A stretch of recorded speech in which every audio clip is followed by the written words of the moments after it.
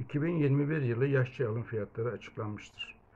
Yıllık enflasyonun üretici fiyatları endeksine göre %35.17 yıl olduğu bir dönemde çay üreticilerinin çay yapraklarına yapılan zam oranı ise %18 olmuştur. Bunu bir zam olarak kabul etmek mümkün değildir. Bu olsa olsa ancak sadakadır.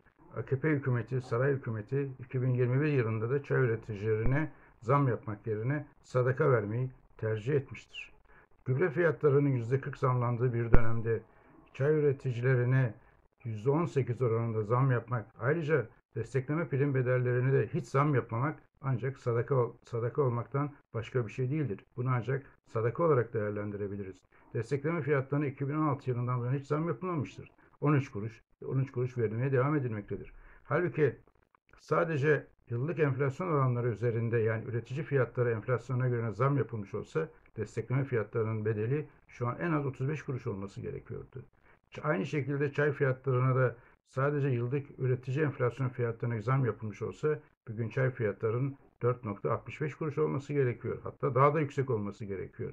Bu dönem çay üreticilerin gerek pandemiden gerek Türkiye'nin içinde yaşamış olduğu ekonomik koşullar gerekse esnaflarımızın içinde bulunmuş olduğu koşullar yani herkesin çekmiş olduğu bu sıkıntı karşısında çay üreticilerine %18 oranında zam yapmak çay üreticilerine ancak ancak sadaka vermekten başka hiçbir anlam taşımamaktadır. Saray hükümeti çay üreticileri mağduriyetini gidermek yerine Karadeniz'in doğasını, yaşam alanlarını, deresini, suyunu yağma eden Cengiz İnşaat'a ve Beşli Çete'ye kaynak aktarmayı tercih etmiştir. Saray hükümetinin 2021 yılındaki tercihi de çay üreticilerinden çok Karadeniz'in doğasını yağma etmeyi hedefleyen şirketleri olmuştur.